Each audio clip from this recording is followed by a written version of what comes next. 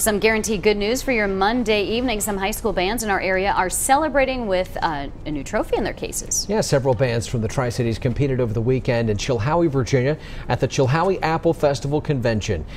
Celebrations and congratulations to the Sullivan South Rebels. This performance you're watching won them first place. Uh, they also secured first and second place titles in several divisions. They've won the title of grand champions at that competition three years in a row. And Tennessee High School is also celebrating tonight. The Mighty Viking Band won first place finishes uh, in their category for the Class 4A Section 2 bands in the Apple competition. These are photos of the band's senior student leaders. The Viking Band heads to North Carolina this Saturday for the Land of the Skies competition. On Saturday, October 7th, the Tennessee High Mighty Viking Band will also host the 66th annual Music in the Castle. It's an all-day band competition. Everyone is invited.